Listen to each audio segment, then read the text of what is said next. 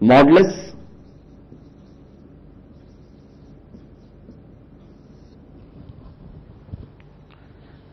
Now, in case of modulus equations, always know one thing that mod of x is always equal to x if x is greater than 0 and it is equal to minus x if x is less than 0 or even I can say that when it is greater than equal to 0 that is x. Now again here in this case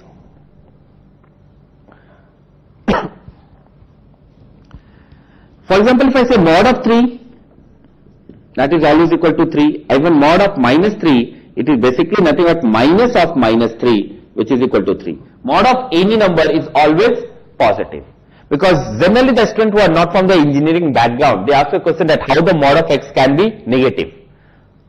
So you need to explain with the help of the example that mod of minus 3 is actually 3 but it is written in this way minus of minus 3 which is equal to 3.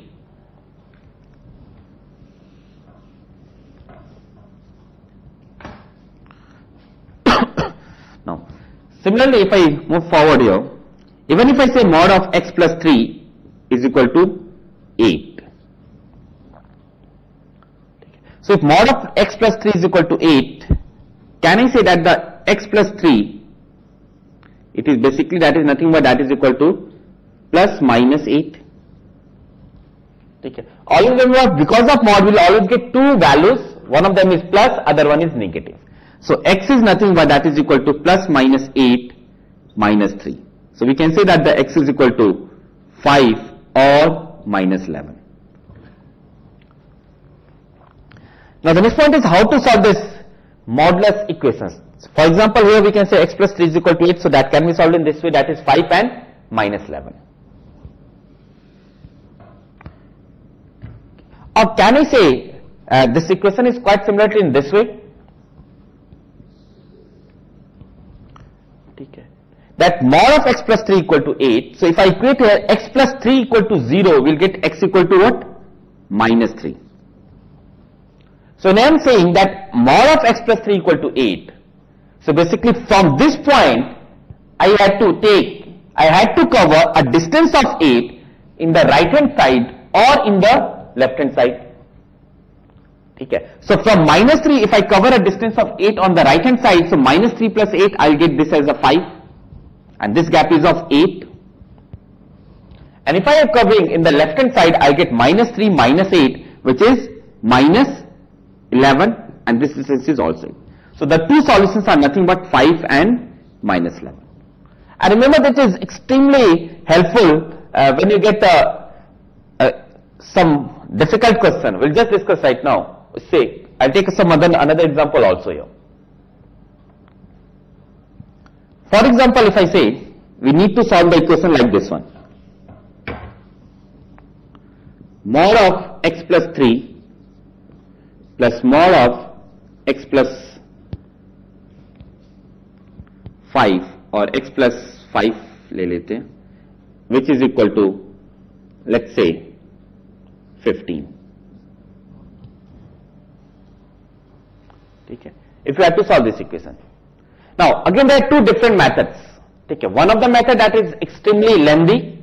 Okay, that we will consider uh, what will happen if this is positive, this is positive. The second case if this is negative, this is negative. negative and the third case if this is positive, this is negative. negative and the fourth case if this is negative and this is positive. So you get the four different equations, you solve these four equations and then you get the answers. The other way is what we can see here on a number line, find out what are the critical points here. The, here, x plus 3, so here my critical point is nothing but that is minus 3. And here the point is x plus 5. So here my critical point is minus 5. Okay. And the distance between minus 3 and minus 5 that is right now is 2. So assume here that there are two persons A and B. Okay. These are two persons A and B. And together A and B has to cover a distance of 15. meter or let's say 15 kilometer. Okay. So how they can cover together a distance of 15 kilometer? Okay. A is at this point and the B is at this point. Now what are the different possibilities? One of the possibilities that B will go to A. When B will reach here, B had actually covered how much distance? That is 2. Okay. So the total distance they had to travel together is 15, but B had already covered 2, so the remaining distance is 15 minus 2, 13. Okay. Now A and B are at this point, now they will start together from here in this direction. Now together they had to cover a distance of 13. So can I say each one of them will cover a distance of 6.5, that is 13 by 2. So A will cover 6.5 as well as B will cover 6.5. So together they will cover 6.5 into 2 which is equal to 13. So add 6.5 in minus 3. Okay. So minus 3 plus 6.5 I'll get my one of the solution which is nothing but 3.5 and this particular gap is of 6.5. So this one of the solution of this equation is nothing but x equal to 3.5.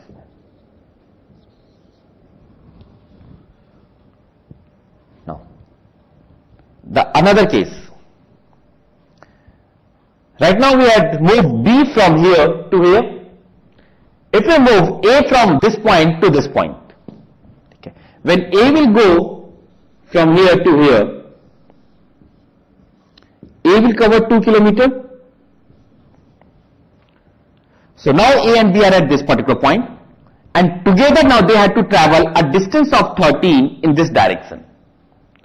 So if together they had to travel a distance of 13 in this directions, so can I say individually they had to travel a distance of 6.5? I'll divide 13 in two parts because they are traveling together here.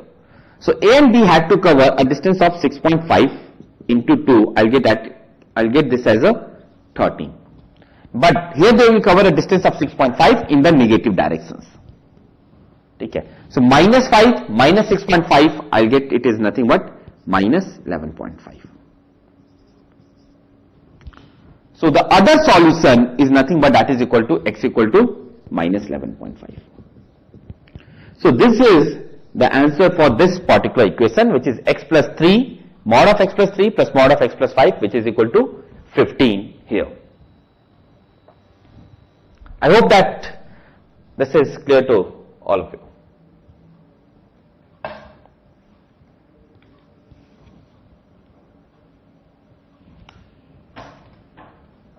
And similarly, even there are three terms like mod of x plus 3 plus mod of x plus 5 plus mod of x plus 7 equal to any constant term, we can follow the same procedure here.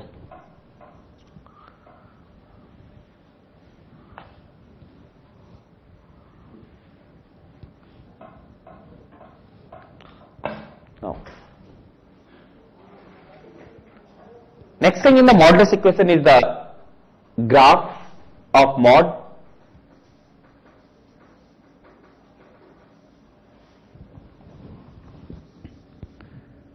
So let's discuss what are the different graphs of the modulus equation.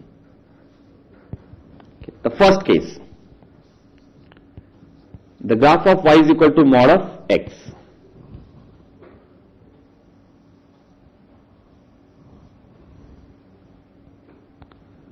So the graph of y equal to mod of x is is nothing but it is in this form. And this is my origin. This is x-axis, this is y-axis. So the graph of y equal to mod of x, this is the standard graph, Take okay, which is in a V-shaped form. If I say y is equal to mod of x minus 1, So always remember one thing. So this is y is equal to mod of x and from here I need to subtract 1.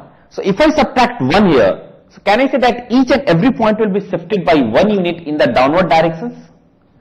So the same graph will be plotted here but instead of starting from origin, it will start at minus 1.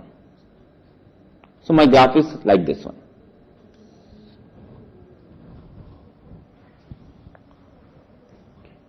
I hope that this thing is clear. The graph of this is minus 1. Now, next thing, if I say y is equal to mod of x plus 1.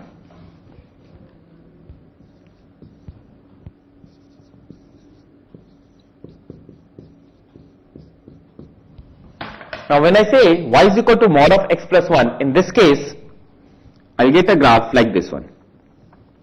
Always remember that if in any function, if I'm adding 1, each and every point will be shifted by 1 unit in the upward direction.